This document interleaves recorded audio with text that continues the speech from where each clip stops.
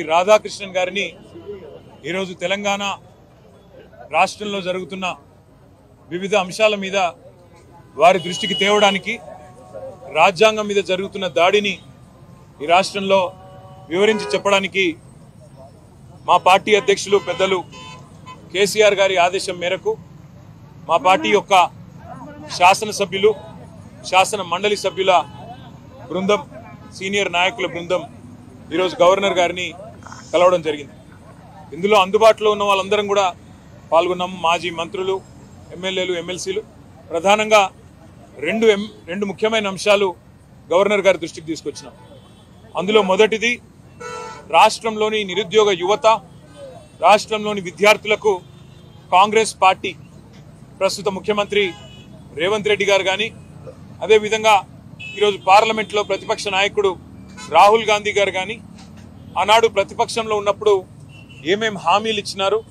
ఏ రకంగా వాటిని వాళ్ళ తుంగలో దొక్కుతూ అప్రజాస్వామికంగా విద్యార్థుల మీద దాడులు నిర్బంధాలు కేసులు న్యాయం అడిగిన విద్యార్థుల మీద లాఠీలు విరగొడుతూ ఒక భయానకమైన వాతావరణం.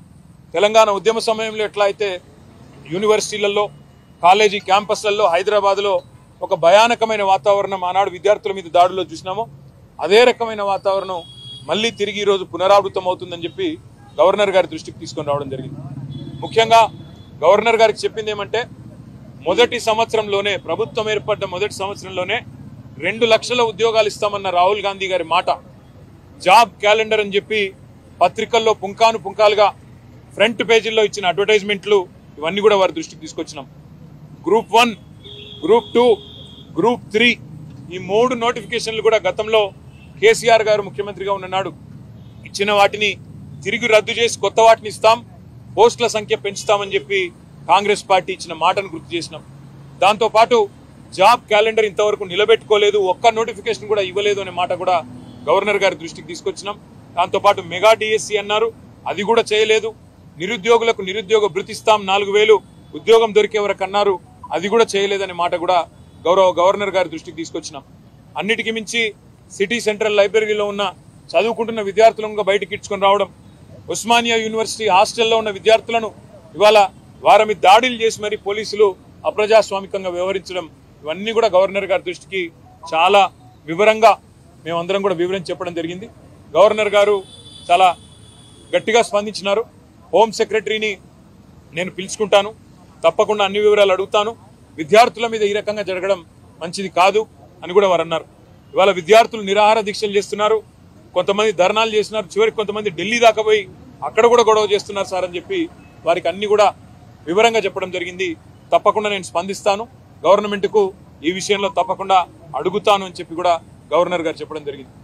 రెండవది ఈ రాష్ట్రంలో జరుగుతున్న రాజ్యాంగ హననం ఏదైతే ఉన్నదో పార్టీ ఫిరాయింపుల నిరోధక చట్టాన్ని తుంగలో దొక్కుతూ మరి కాంగ్రెస్ పార్టీ ఏ రకంగానైతే ఈ రాష్ట్రంలో ఇప్పటికే పది మంది బీఆర్ఎస్ ఎమ్మెల్యేలని ఎనిమిది మంది బీఆర్ఎస్ ఎమ్మెల్సీలని తన పార్టీలో చేర్చుకున్నదో కూడా గవర్నర్ గారికి సోదాహరణంగా వివరించినాం. మేము ఇప్పటికే న్యాయ పోరాటం చేస్తున్న విషయం కూడా గవర్నర్ గారికి చెప్పాం.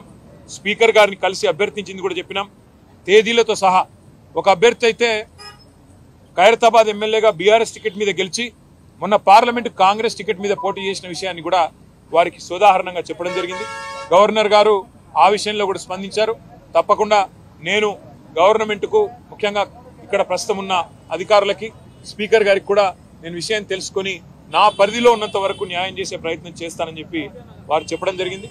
తప్పకుండా గవర్నర్ గారు మరి ఈ రెండు విషయాల్లో ముఖ్యంగా నిరుద్యోగ యువత విషయంలో తను స్పందించిన తీరును మేము అభినందిస్తా ఉన్నాం స్వాగతిస్తా ఉన్నాం. తప్పకుండా వెంటనే హోమ్ సెక్రటరీని కూడా పిలుస్తానని కూడా చెప్పారు. చివరిగా ప్రోటోకాల్ విషయంలో కూడా జరుగుతున్న ఉల్లంఘనలు మా ఎమ్మెల్యేలకు ఎమ్మెల్సీలకు జరుగుతున్న అగౌరవం అధికారులు వ్యవహరిస్తున్న తీరు ప్రభుత్వ నిర్వాహకాన్ని కూడా చాలా వివరంగా గవర్నర్ గారికి చెప్పినాము. గవర్నర్ గారు ఈ విషయంలో నేను ఒక లేఖ రాస్తాను ప్రభుత్వానికి.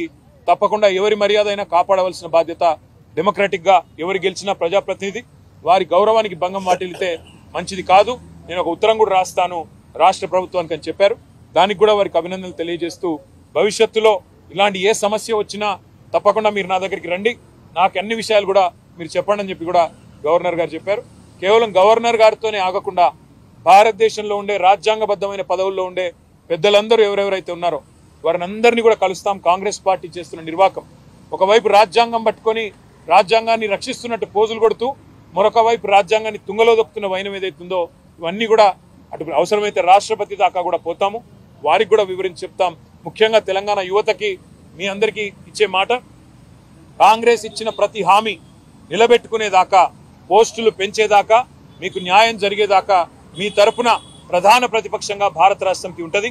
కేసీఆర్ గారు ఉంటారు.